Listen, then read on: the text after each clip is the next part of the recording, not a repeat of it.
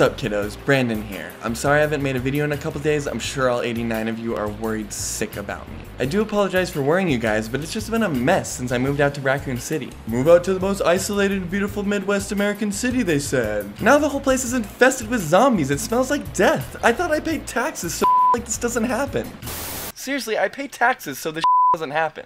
Wait a second, this is really weird. Something isn't right here. Anyway, I'd be lying if I said there weren't any signs. My friends thought it was pretty weird that I wanted to move here, and my cameraman even asked if I had ever heard of a game called Resident Evil 3 Nemesis. I told him I had never heard of the game. I packed up my and bounced out of there. Now I find out Capcom is remaking this game and it's coming out at the beginning of April? God damn it, I'm so bad at my job. Well, I figure there's no better time to learn about Resident Evil 3 than when I'm in a constant state of fear and danger for my life. Man, I feel weird. Uh, some Capcom game called Resident Evil 2? Like a mad case of deja vu. Uh, almost like I've done this before.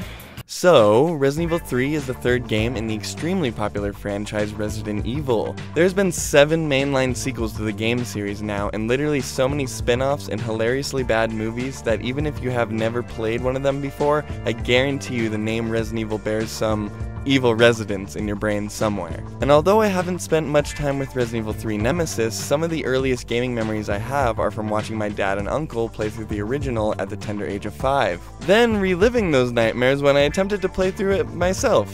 What can I say, I was a snowflake.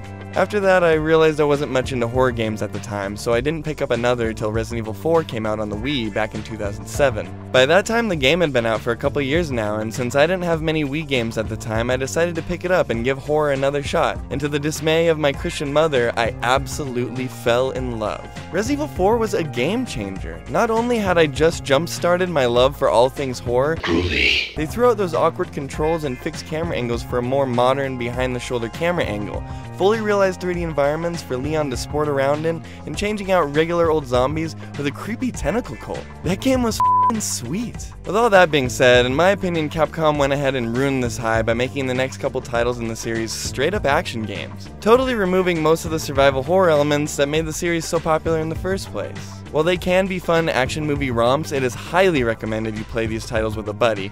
They aren't bad games, just mediocre at best. And luckily, we aren't here to talk about any of those games today. With the upcoming release of Resident Evil 3 Remake, people are hella stoked to jump back into the blood soaked streets of Raccoon City especially thanks to the return to form we got back in Resident Evil 7 a few years ago. Now, I'm sure you all are very curious to know about how Resident Evil 3 Remake stacks up to the original PS1 title. Resident Evil 3 was originally released on the PlayStation 1 back in September 1999 to slightly less good review scores than its predecessor, but eventually reaching cult status and commonly appearing in arguments among friends about whether or not it's a superior game to Resident Evil 2. While the game is not perfect, especially up to modern standards, the clunky tank controls, fixed camera angles, and constant inventory management do wonders for creating a tense, albeit sometimes frustrating environment. And the game continues to be one of the most popular survival horror experiences out there. Thankfully, from what I've played of the game and seen online, the overall atmosphere and game mechanics stay true to the PS1 title, and even though they take a lot of creative liberties with the plot, they hit a lot of the same story beats and overload your senses with references to the original,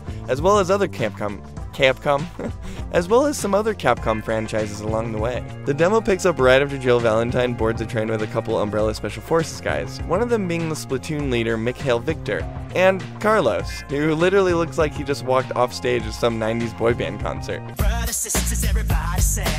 Victor explains to you that him and his team were here to rescue civilians, but by the time they got here to Raccoon City, everything was shut down and isolated already. If the civilians were still alive, it is only a matter of time until they die, or worse, undie. It's then revealed that they are working on a plan to get said train moving and to rescue the survivors that they have found, but they're gonna need Jill to run some errands for them first. Jill reluctantly accepts, but not without making a jab at the corporate overlords who got her here first. Ha! Suck it, capitalism. Jill makes her way out of the train station, but not without reading some seriously boring papers and eating enough green herbs to easily lose every ounce of moral fiber she had in her. She's all lazy and boring. Eventually making her way up to the neon-soaked streets of Raccoon City. The lighting effects in Resident Evil 3 are off the chain and are frequently manipulated to give off some of the most eerie-looking corridors I have ever tread down. Right off the bat, you're going to notice a lot heavier emphasis on combat in this game compared to the one that came before it. There are a lot more opportunities in this game to mow zombies down with various weapons, but don't think that means you can be careless with your ammunition. All your favorite survival mechanics are intact here, everything from inventory management to a crafting system. While some hardcore fans may prefer the fixed camera angles and put up with the controls for the sake of horror, I think that bringing the camera back and having more immediate control over the character really puts you in the feet of Jill Valentine and allows for them to pull off some set pieces that come together nicely when they are right up in your face. For instance, the Nemesis is still wandering the streets of Raccoon City and looking to murder you and everyone you know, and he is terrifying. Once Jill solves a couple puzzles and wanders the streets a bit, you then find the fire hose you need to get past the blazing fire that is blocking your path. Upon returning, the big guy himself shows up and tries to stop you at any cost. And by that I mean he will literally follow you around the streets of the city, one time even following me all the way to a separate part of the map, scaring the absolute shit out of me. The one thing that really sticks out to me when it comes to this remake is the atmosphere. Between the crisp sound design, absolutely insane lighting effects, and well placed set pieces, it all comes together to amp up the creep factor, really giving you the feeling that you are walking around a city in despair slowly solving puzzles in your way and blowing the brains out of the backs of zombies' heads. This franchise has really taken off again since Resident Evil 7, and I think they have really learned from their mistakes in the past, focusing less on flashy anime action scenes and more on what makes the game so popular and scary in the first place. On top of that, the gameplay is silky smooth. The camera and shooting mechanics really feel like second nature and are right in line with what we have come to expect with the team behind these games. Hot damn, I'm pumped after getting a chance to play that game and talking to you guys about Oh sh they're right outside. Uh, uh, well I hope we're all on the same page about Resident Evil 3 now? I think they found me, I can hear them right outside. That being said, I need to get the hell out of here and back to Colorado. Wait, I've definitely done this before. This is really weird. Ah, God, what the f is happening? Ah, God, damn it. What the hell is happening, computer? You passed out on the floor there during the show. And you were just gonna leave me there? Was I out for? I think we maybe should finish the show and then I can figure out why you passed out on the floor like a giant baby afterward. Jeez, okay, God.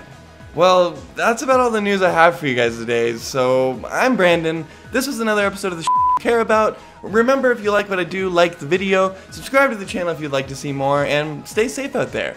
Have a kick ass week.